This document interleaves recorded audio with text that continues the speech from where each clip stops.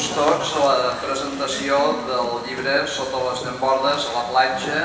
de la Núria Borrut, que presideix, evidentment, la taula avui, o la mesa avui, en aquest acte aquí a la Casa del Llibre. Ja fa estona que les botigues han abaixat les persianes i s'han anat tancant els portals i les finestres de les cases. Però hi ha veïns que treuen el cap entre els petits. No s'ho perdrien per res del món com que molts d'ells han descobert que l'aigua contrarresta el fum dels gasos lacrimògens, des de dalt de les finestres llancen cubells d'aigua a les barricades, i llimones, i bufandes als estudiants perquè els protegeixin dels gasos. I és que els veïns cada vegada senten més simpatia pels manifestants i més menyspreu per les forces d'ordre públic, com aquests que hi ha a l'entrada del carrer, amagats darrere dels seus escuts rodons, protegits per cascos i fusells de bales de goma. La Sissi és una, una noia que que ha fugit d'Espanya perquè no suporta l'ambient franquista, no, no s'entén amb la seva família, va patar primer a, a Perpinyà perquè hi Castiets, en l'excursió que va estudiar francès i després va, va a París. I a París es matricula a Sociologia perquè li sembla que és una carrera que no tindrà que estudiar gaire i que es podrà dedicar més a la fotografia. I en allà coneix a la Chantal, que la Chantal també és una... O sigui, no, no, no, no, no li ha anat gens bé el matrimoni i ella decideix que també vol estudiar i allà es troba. En aquesta era de protesta només voldria esmentar dos exemples per tal que contextualitzeu el que, el que la novel·la explica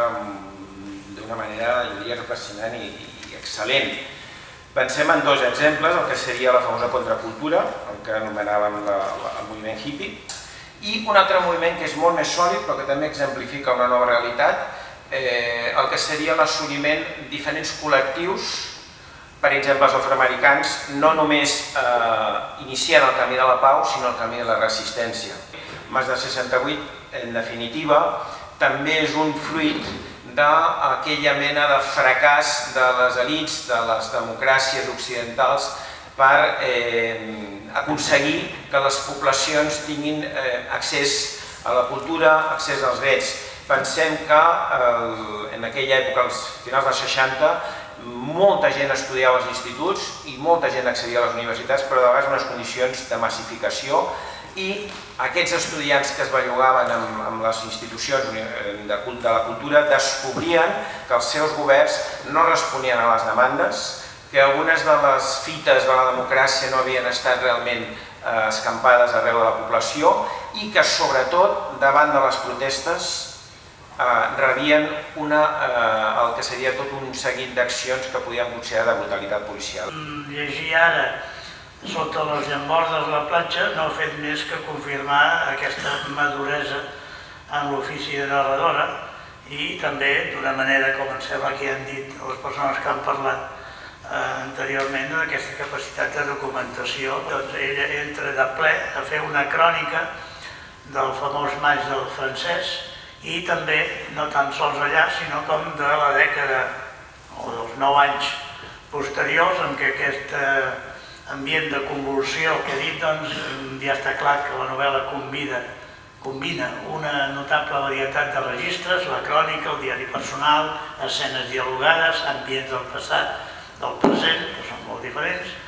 i evidentment jo he de dir, i ho signo, que la Núria se'n surt molt bé de, de, de, tot, de tots aquests varietat de registres amb una agilitat